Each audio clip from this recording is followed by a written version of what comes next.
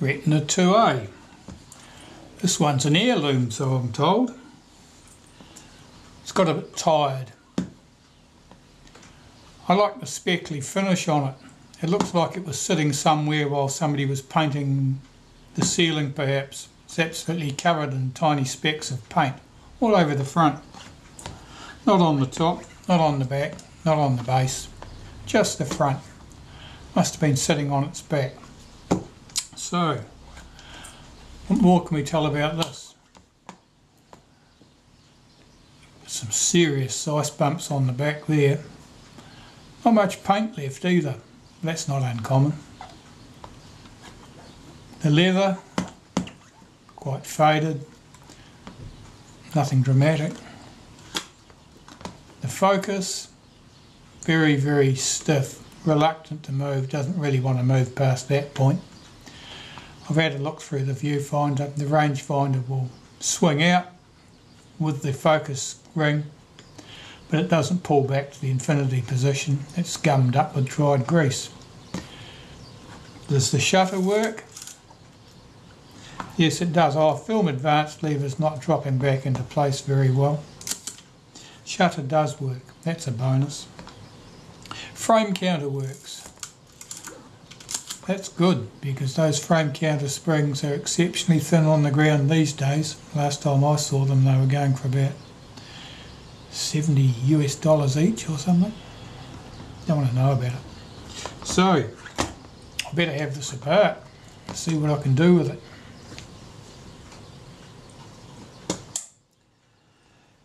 Right, off with the rewind. That came off easily enough. There's a spacer washer underneath there. That's used if the position of the shaft is such that the knob rubs on the top cover. It's to stop it carving a track into the top cover.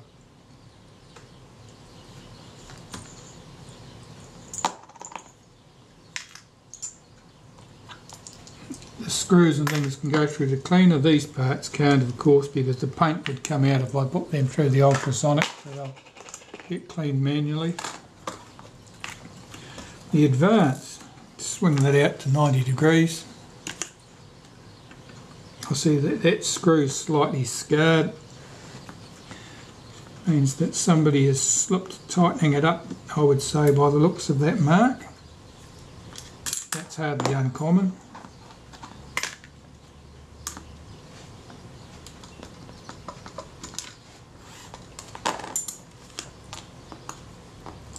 So, a little washer from under the screw. The wavy washer, we'll want that. Some of this can be go through the ultrasonic, some cannot. The number scale obviously cannot because the numbers would just come off. This won't either because the paint would come out of the markings. These two pieces can go through the ultrasonic cleaner and the advanced lever that gets cleaned manually. Now, here is a spring or pawl now these are inclined to break. You've only got to look at them the wrong way. I'll clean that manually and I'm scared to even breathe on it. Just checking that the latch here works.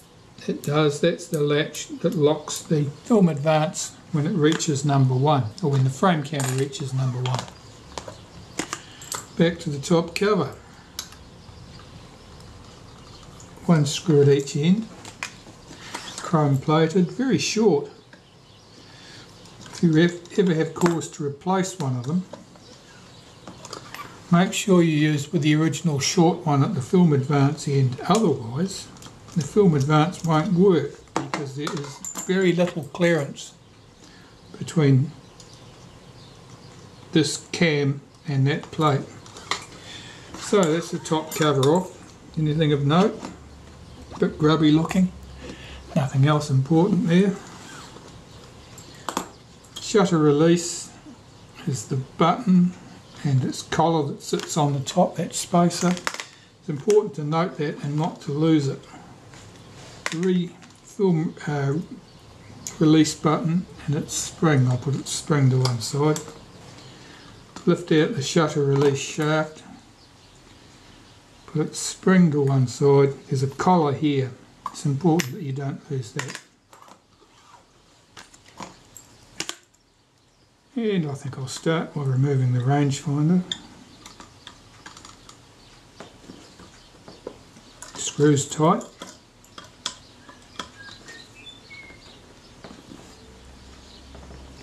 Very tight. I'll need a better screwdriver. Let's give this one a go.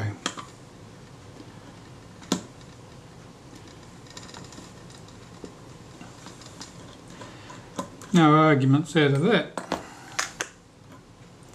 The rangefinder off. The rewind assembly can come off. Three screws.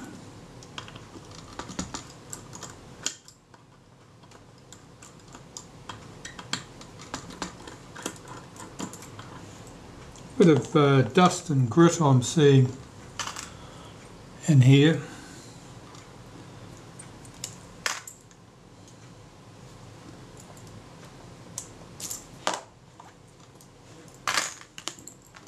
film advance. Take that spacer off, or there's a spacer washer under there. If that's present, make sure you don't lose it. Otherwise you'll end up with real problems trying to get the film advance lever to return to the rest position. Let's lift that gear up.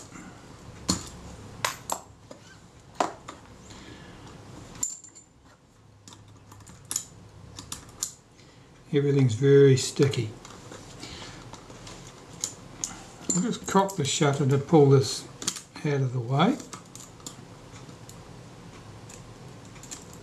And that exposes a screw down here that holds that this bracket down. If I can get to it.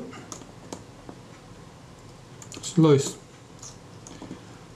The screw is loose there. There's one at the end here, that's loose. And this one here has a spring on it. I've just released the tension on that spring so it doesn't fly across the room. And the spring I'll put over there. Here's our bracket and the shutter cocking rack. The shutter cocking rack on the Retina 2A or 1A, uh, very robust. There's a spring down in the body here, so I'll just see if I can encourage it out. There it is.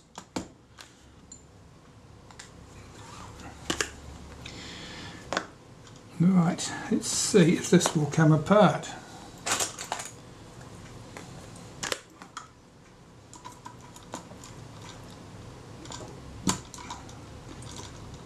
Just lever this up to get it off that squared shaft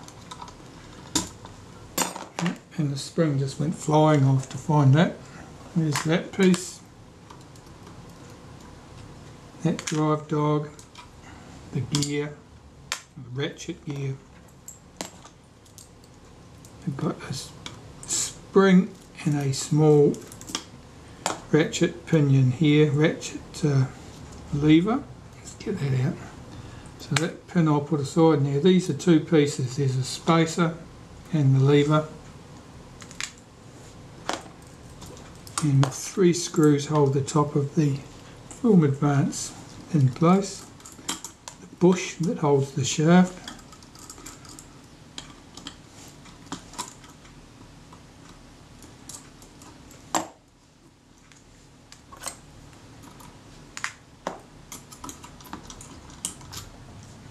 This is all quite sticky with dried out grease and there's a fair bit of grit in there too for good measure. This is the clutch assembly, if it'll come out for me. Clutch assembly's job is to provide some controlled slippage between the sprocket and the take-up spool, otherwise you'd end up tearing out the sprocket holes of your film. Right, that's the top of the camera dealt with.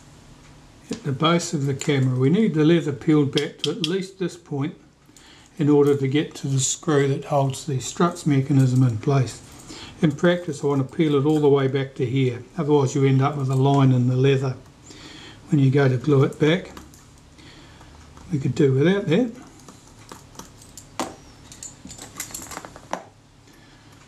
First take two screws out of the tripod sockets around. And will the leather behave itself and come up nicely?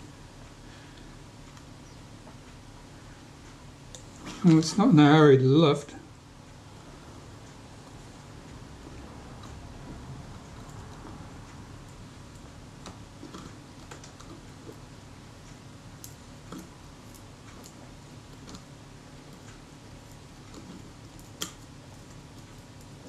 appears to be well glued down.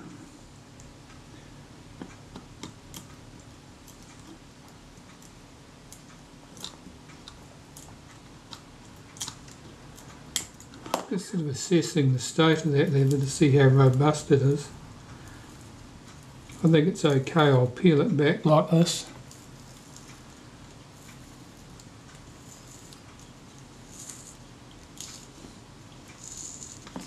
It seems good. You can hear that sound, that's the fibres of the leather tearing away because the glue layer is sound. It was gluing that leather to the body very well. And the leather looks a bit odd there, it's tearing the, the layer away, it's delaminating. Let me slide underneath that with a scalpel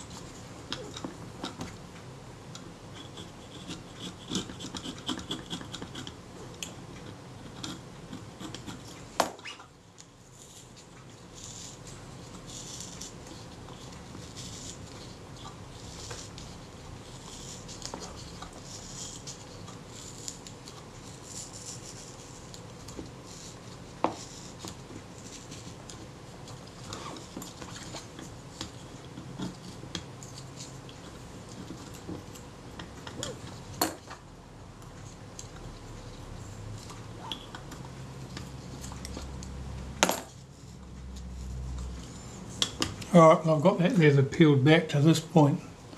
Now, if we just folded it back here, you'd end up with a crease across it once it was glued. Right back here, there's nothing that you'll notice. So, two brass screws hold this little aluminium shield in place and that's got a little raised lip on it to stop you bumping the rewind button accidentally. Three screws hold the tripod socket in place. Often those are loose. In this case they seem to be pretty good. Take that off. The rewind button. I'll take that off now. I've got a pair of pliers that are made to do that job. There's not much to grasp on there. rewind button and its washer. The spring I won't, I don't put the springs through the ultrasonic cleaner. Um, they're likely to get lost. Take that screw out of the sprocket shaft.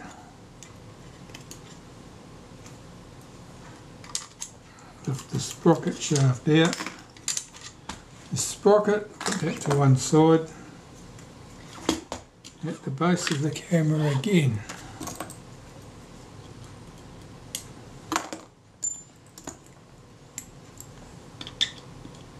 This is the lever that latches the rewind button in place when you click it in and it's released again once you move the film advance lever. So I'll take that spring out, there's our lever three screws hold the bush in here at the base of the film advance shaft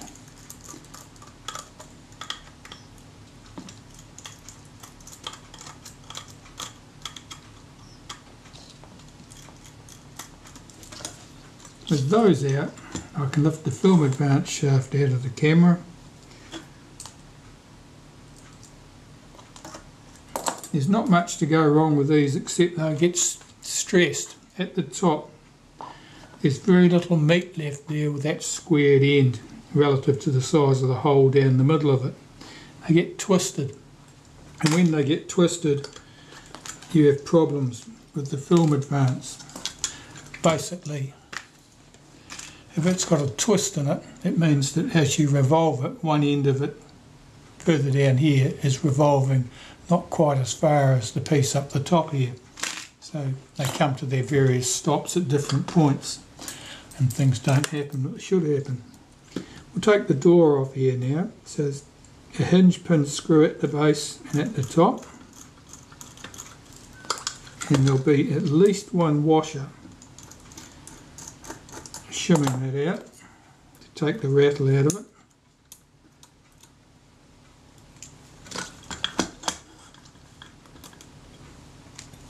We swing that door forward.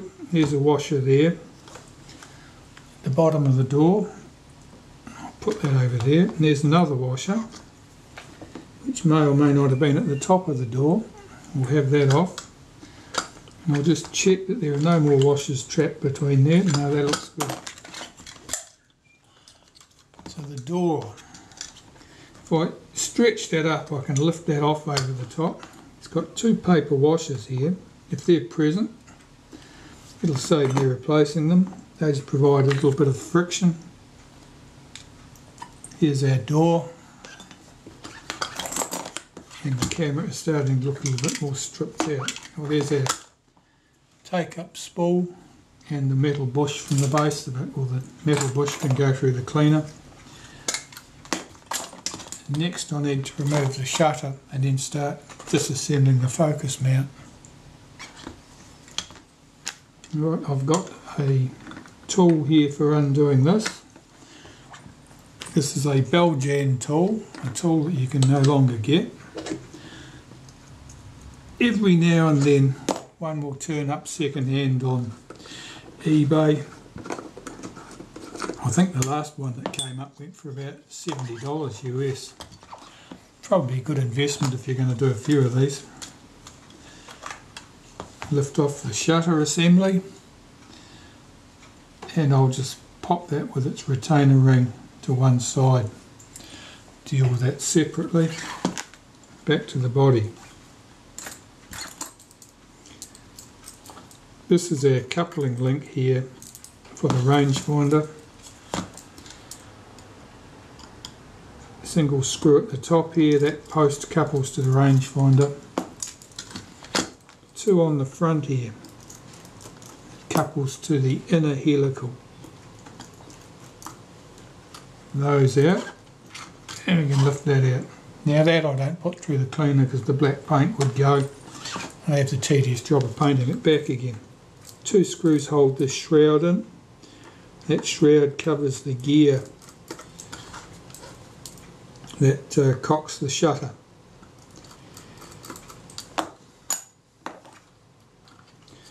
Those screws are chrome brass, fairly easily damaged, not easy to access, take care taking them out. This piece I don't put through the cleaner because the nice green M&X would disappear.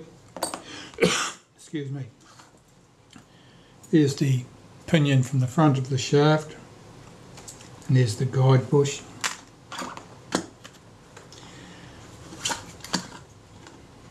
Now the focus here is very stiff. Um, it's sitting at, a, at the infinity position at the moment. I'm going to mark the position of the, the focus scale ring relative to the outer helical. I usually mark that in two places. Where am I? There will do.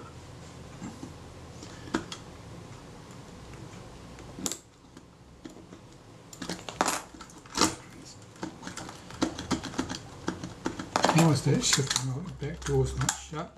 That's better. So all I'm doing is just describing a line across the focus scale ring and the outer helical. So I've got an alignment mark. I know exactly where to come back to. And I usually run one across the top as well. Two at the base, one at the top. That gives me my alignment marks and also tells me which way was up when I go to put the focus helical back in the body.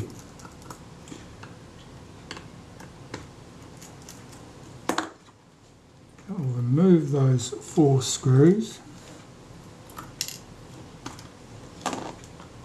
One just fell in, we'll get that back quickly before it gets lost. Here's our focus scale ring, we're done with that for the moment. In here, four black screws hold the bellows to the back of the front standard.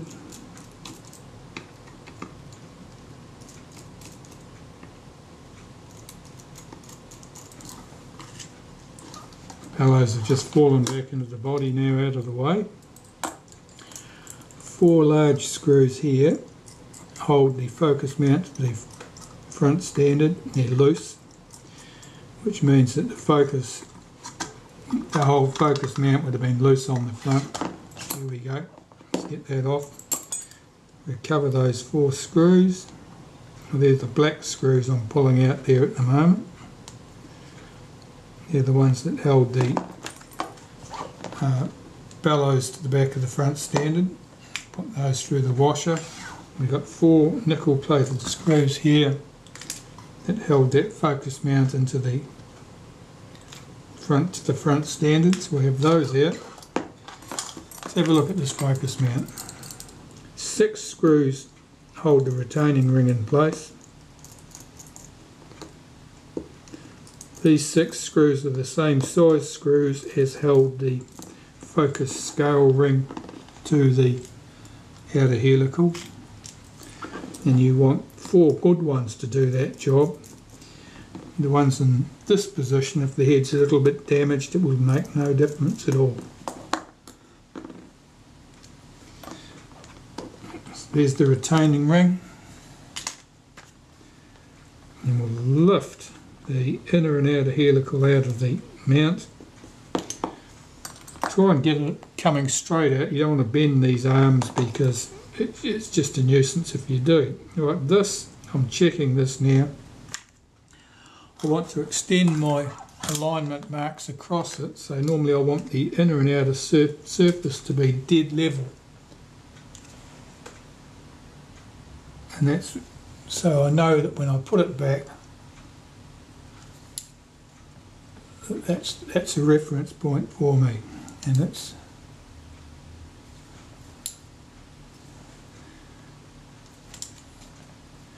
about there. So my alignment marks, I had two alignment marks at the base here, so I'll just run those across from the outer helical to the inner helical this time. There was one at the top, it was there. So now I've got my alignment marks, it means I can put the inner and outer helical back together in the correct alignment so that everything will be exactly where it came from when it goes back together. The camera body. I want the struts out, it's held in with four screws. One at the top here, that was a little bit loose. One at the base here, that's loose too.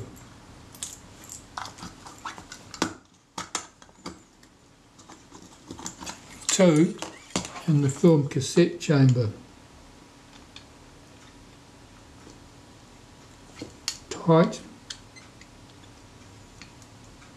One here, one's coming loose. Let's see if the other one wants to come loose, otherwise I'll have to... No, it's coming loose. If it had been reluctant, I normally just give that a couple of taps with a hammer and that loosens it up. Right, this can come out. Here's our struts assembly complete.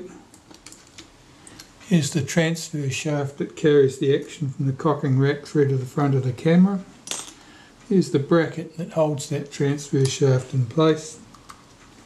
here's the spacer washer that goes between the struts and the inside of the base of the, the camera body in the same position as that bracket would have done. And here's the return spring for the shutter release. So the body now is stripped down as far as bodies usually need to be stripped.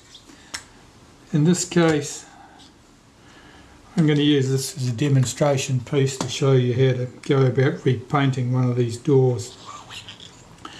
Now the rivets, the doors on these cameras, they're riveted in place.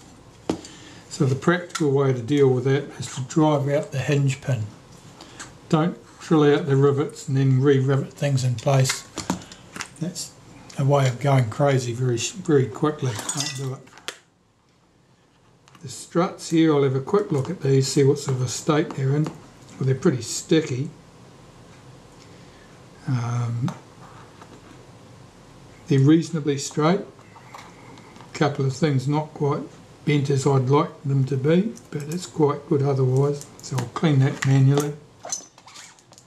First I want to get this door off, I think.